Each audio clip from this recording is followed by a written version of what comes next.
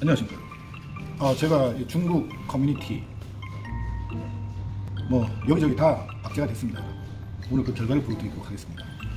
아침 9시부터 지금 현재 시각이 6시 정답입니다. 여러분. 아, 이제 앉았습니다.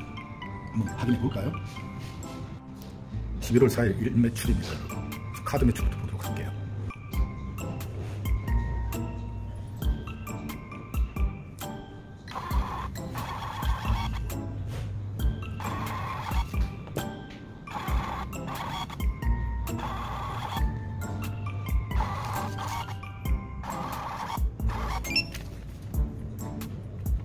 얼마요?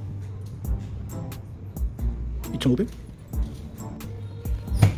카드 매출 2,500 현찰 매출이 또 있습니다 2, 3, 4, 5, 6, 7, 8, 9, 10 3,500? 어, 4,000이 돼야 되는데?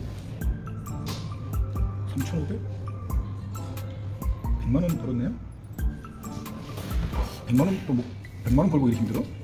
더번것 같은데. 3,500 맞습니다. 4,000 버는 줄 알았는데 3,500 벌어 은행으로 또 입금한 게 있어요. 아이고. 너무 힘들었어요. 여러분 박제되면은 힘듭니다 오늘 나 바빠가지고 놓친 손님도 한 3명이 돼요. 예약 안 하고 워크인으로 들어온 손님들. 염색 2명 커트하는데 놓쳤는데 우리 집사람 한국에서 뭐하고 있는지 모르겠어. 하루에 1, 20만 원 벌면서 여기 와서 가게나 좀 맞지. 좀 전해 주십시오. 한국에 계신 분들. 정신 차리고 빨리 말레이시아에서 복귀하라고. 복귀 명령